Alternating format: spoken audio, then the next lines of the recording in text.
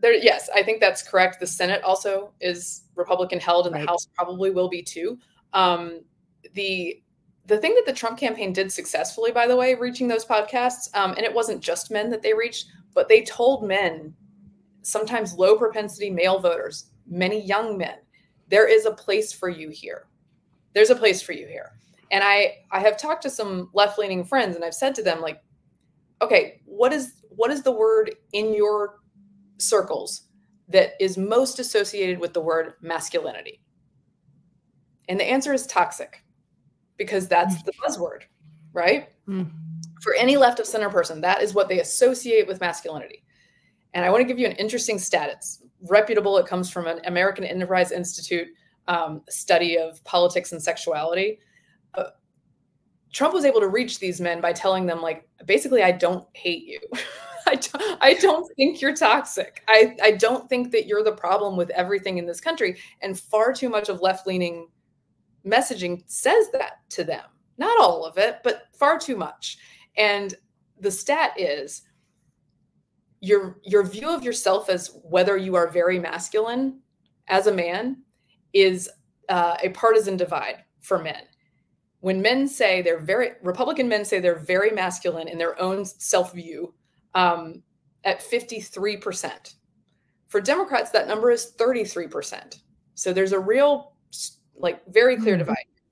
You know what other two groups identify as very masculine at the same rate as Republican men? Latino men and black men. Hmm. So when you when you turn your back on the idea of masculinity as envisioned by these men, if you don't allow for the idea that there are good men who are very masculine, who are doing their part for America just like everyone else, and I'm I'm being a little reductive of the message. This is more of like the message you get from like college world, academia, but that world leaks out into democratic politics very frequently. Um, so if they're hearing toxic masculinity from you, they might look elsewhere to, I don't know, a guy who's campaigning with Dana White. Like that's a fit.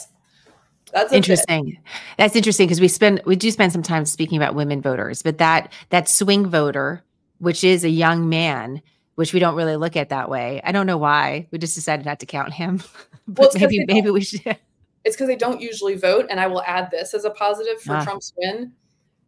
Having young men engaged in society in this way is very good for everyone because you do not, any society that sort of has real problems um, with upheaval and social upheaval and uh, crime and all sorts of things, they often have a large population of young unmarried men who are not engaged with society in healthy ways.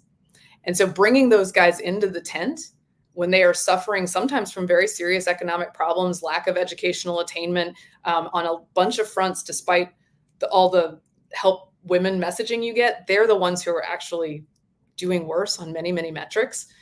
Uh, and if you tell them they have no part in the society, that won't go well for us. So I'm glad they're coming in. I'm glad they see themselves uh, represented and that they can be part of the process. so that that brings the stakes to be very high for the republican party and i promise we really will finish here i know you, you probably have a million things to do i just can't help talking one more thing written down that I do want to make a point about, and other than that, I'm good to go. Well, the only thing I, I wanted to make sure to it- evenly weight this conversation because Yeah. if the stakes are high for Democrats, it's also high for Republicans. And if you have young men that feel connected to the political process, now there's a question about deliverables under Mhm. this new Trump administration. Yep. Uh, I have to, and by the way, I feel like I have to be really careful. And I, I don't know if it's because of, uh, collective trauma from the attempted assassinations of former president trump i still i very much worry about the security and health of our of all of our politicians Yes. and I feel like although we've we've kind of moved into a different post-election world, I still feel a tentativeness of I hope everyone stays ha- safe. Like I feel very concerned about that. I just feel like I need to just state that for the record. In in a new Trump administration though, there has to be deliverables. What does that look like? Does it look like Robert F Kennedy Jr. going in and like completely just dismantling the FDA? Is it a kick down the door sort of thing? Is it a, a way that uh you know, President elect Trump does work within the system, can he go into the Department of Justice and say, hey, there's way too much politics here. We got to go after the bad guys, the enemies, not each other. Here's how we're going to do it, but keep some of the framework.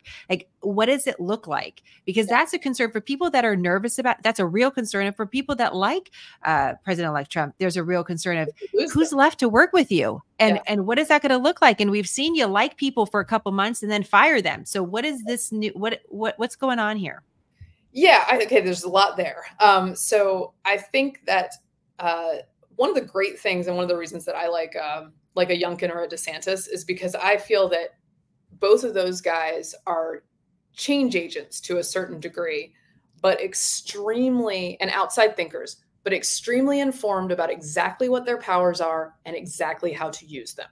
Hmm. That is not Trump's style. Okay. Trump is like, he comes in, he's bull in a china shop. He's like, I'm going to do these things.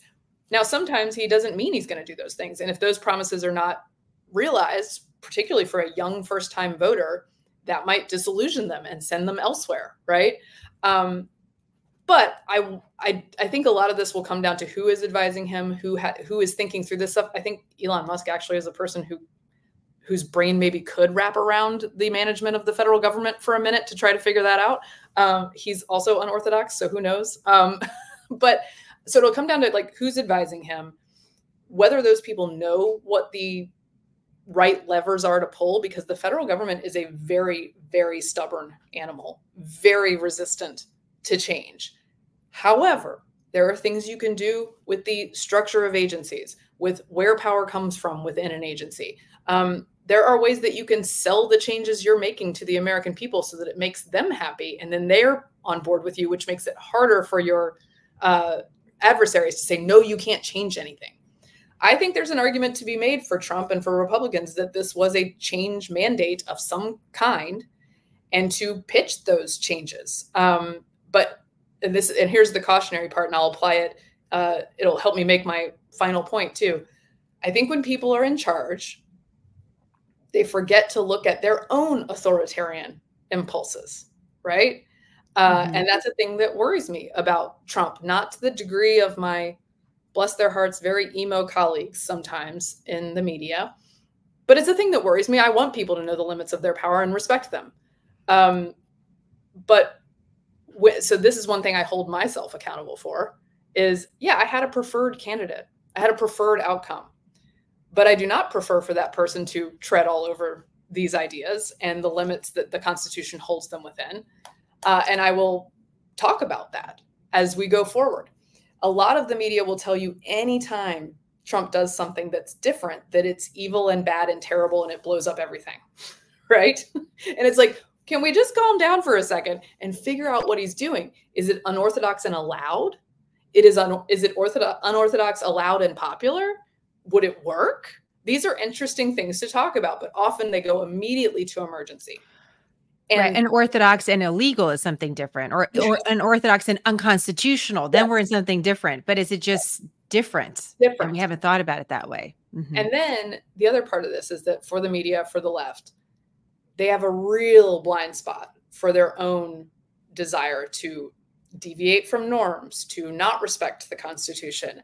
Um, I think a lot of people reacted to the fact that under the Biden administration, one of the things that didn't feel normal, more normal, was, in fact, in New York. And I know you've talked about the charges against Trump, but it truly was a novel, completely new charge created for Donald Trump in the city of New York for that conviction. And that wasn't a good look for the DOJ, for the South District, Southern District of New York, for Biden, because that looked like using the justice system in the ways you say Trump will against your political enemies. So when you're in charge, you get a little excited and you do the things that you're telling everyone that your opponent's going to do. They don't believe you anymore and there are other examples like the uh, the college loan one annoyed me where it's like the constitution says you can't do this. The judges say you can't do this. The, the courts say you can't do this. We're gonna do it anyway. So like or packing the supreme court that one really annoys me. These are things that you can't accuse someone else of doing and then do and then people trust you. And i think that part that was part of this too. But a cautionary tale for everyone who's in charge. Uh, yes